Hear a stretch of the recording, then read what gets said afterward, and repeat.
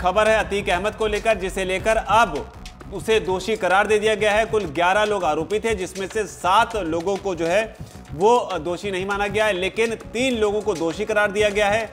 अशरफ, जो कि अतीक अहमद का भाई था, उसे दोषी नहीं माना गया है, लेकिन एक शख्स की इस मामले में ग्यारह लोगों में से एक की मौत हो गई थी। लेकिन जो बड़ी खबर आ रही वो ये आ रही कि अतीक अहमद सुनने के बाद में जब उसे दोषी करार दिया गया तो फैसला सुनने के बाद में वो फूट फूट कर रोने लगा।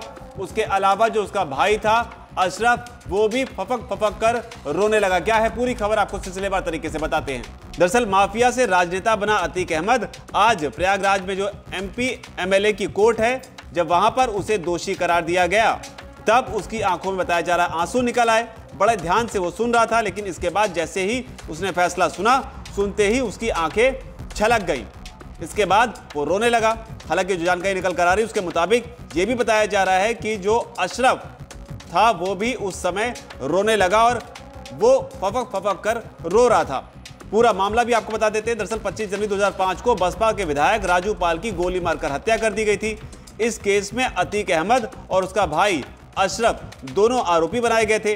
इसी केस में राजू पाल के रिश्तेदार उमेश पाल मुख्य गवाह बने थे और उमेश पाल को भी 28 फरवरी 2006 को अपहरण कर लिया गया था। इसी का आरोप अतीक अहमद और उसके साथियों पर लगा था। उमेश ने आरोप लगाया था कि अतीक ने उसके साथ मारपीट की और जान से मारने की उन्हें धमकी दी है।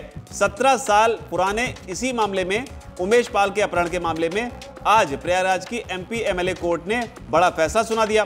कोर्ट ने बाहुबली रहे अतीक अहमद समेत तीन आरोपियों को दोषी करार दे दिया। इसी मामले में कुल 11 आरोपी थे, इनमें से एक की मौत हो गई। इतना ही नहीं, कोर्ट ले जाते वक्त वकीलों ने भी अतीक अहमद के साथ धक्का मुक्की की। अदालत ने अतीक वकील सौलत हनीफ और दिनेश पासी को दोषी करार दिया है। हालाँकि अब सज़ा का इंतज़ार है। सज़ा क्या सुनाई जाएगी, उसका इंतज़ार होगा, इंतज़ार है, लेकिन बड़ी खबर यही है कि कोर्ट में जब फैसला सुना तो अतीक अहमद रोने लगा। इसके साथ ही जो एक लंबा सिलसिला चला क्राइम का, उसका भी आप इसे अंत कहिए।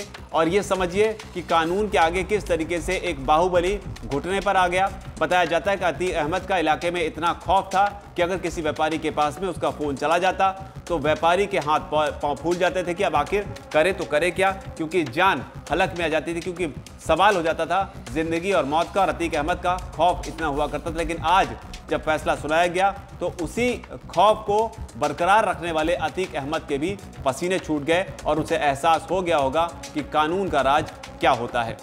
बहरहाल, इस खबर में इतना ही।